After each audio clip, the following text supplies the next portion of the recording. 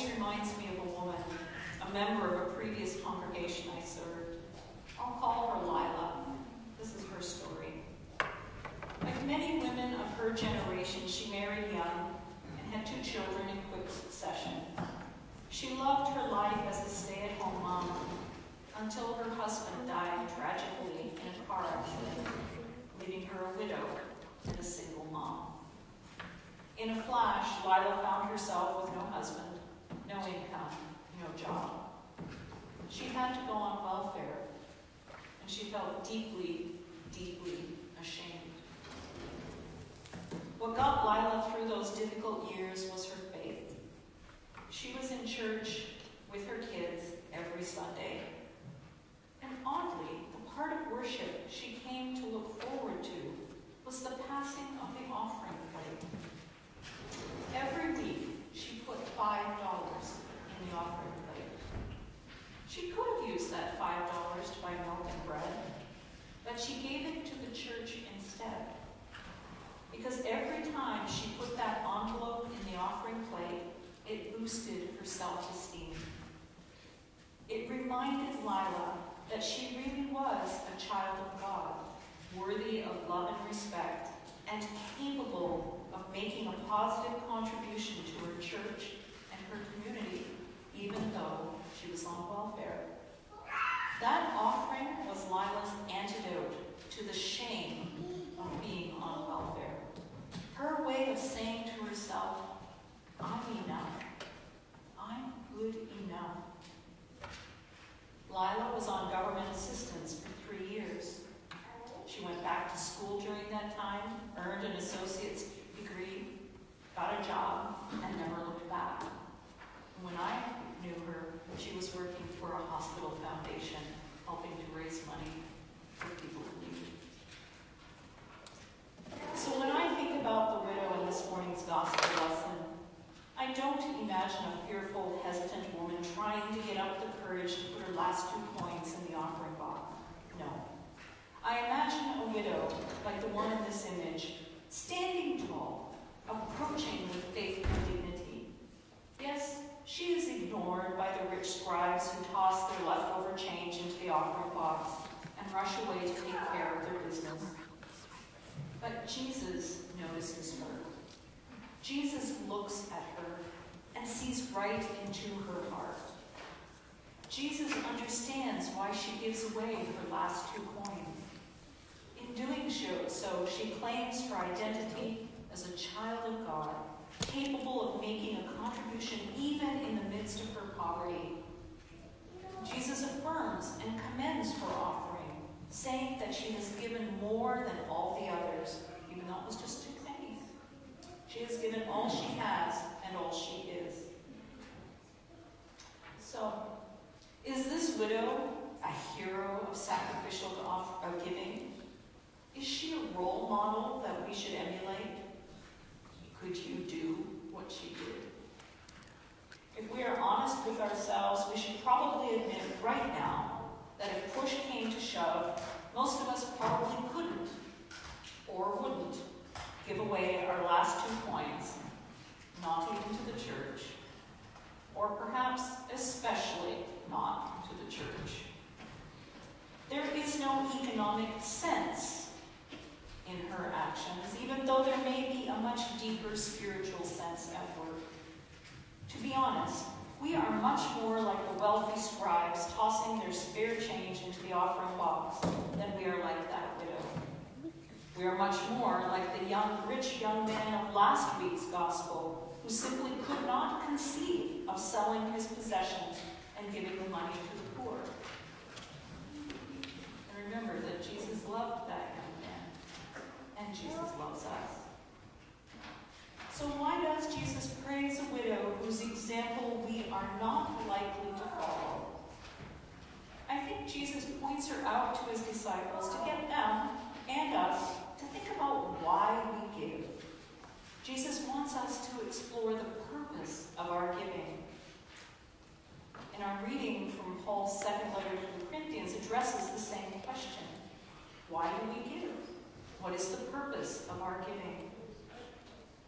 Our reading has Paul saying, the one who sows bountifully will also reap bountifully. The New Living Translation renders his words as the one who plants generously will also reap generously.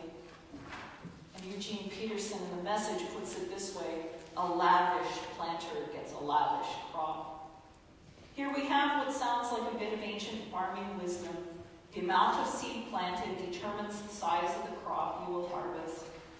And in the context of Paul's letter, that might make sense. He is, after all, encouraging them to finish the special collection they started a year earlier. So maybe, maybe quantity is important. But the word that is translated as bountiful, generous, or lavish is actually the Greek word eulogia, which means blessing. Sow on the basis of blessing. To sow because of blessing. To sow for blessing. To sow in order to bless. The one who sows out of blessing for blessing reaps blessing. This is not about quantity, it is about motive and purpose. God has blessed every single one of us with talents and abilities, skills and strengths which demand to be used. When we put our talents and abilities to work, we receive a second blessing. We receive joy. A person blessed with a talent for music resonates inside and out with joy when they make music. A person blessed with athletic abilities feels gloriously joyful when their body is in motion, running, shooting hoops, scoring a touchdown. A person blessed with empathy experiences deep joy when another person shares their story and their pain with them. A person blessed with creativity experiences joy in the products of their hands, the bread they bake, the socks they knit, the houses they build, the artwork they design. When we sow out of our blessings, we reap blessings for ourselves. But even more importantly, using the time, talents, and resources we have been blessed with produces blessings for others. The music one person makes lifts the heart of another who hears it. The strength and agility of the athlete provides a vicarious thrill for the spectator. The empathy of a Stephen minister gives courage and strength to a person in crisis. The creativity of others fills our stomachs, clothes us, shelters us, gives us beauty to behold. We are indeed blessed to be a blessing. And I chose this image with the glass of water as a reminder that no matter how we imagine our glass, whether we imagine it being half empty or half full, as I said, they are refillable. Glass is always refillable, and God is in the business of refilling our glasses. The Apostle Paul assures us that when we give out of our blessings for the purpose of blessing others, God will multiply, as he says, our seed for sowing and increase the harvest of our righteousness. And our great generosity will produce thanksgiving to God. As we prepare to make our financial commitments for 2019, I encourage you all to continue giving generously from the resources God has blessed you with, and to give intentionally for the purpose of blessing others. As you make your commitment, ask yourself, who will be blessed by my gift? How will my gift bless the children the youth and the young adults who are part of this community of faith, the homebound and the sick, the staff members who depend on the salaries we pay them. How will my blessings for children in our neighborhood schools? Families trying to find a way out of homelessness. People struggling in the aftermath of tornadoes, hurricanes, floods, or wildfires. And how will I be blessed by making this gift? Please pray with me. Lord Jesus, you notice us and see us, and you see right through us. And yet you love us. Teach us to be generous as you have been generous with each of us. Help us remember that you have blessed us to be a blessing to others, that all we are and have are gifts from you meant to be shared. Show us the joys of generosity.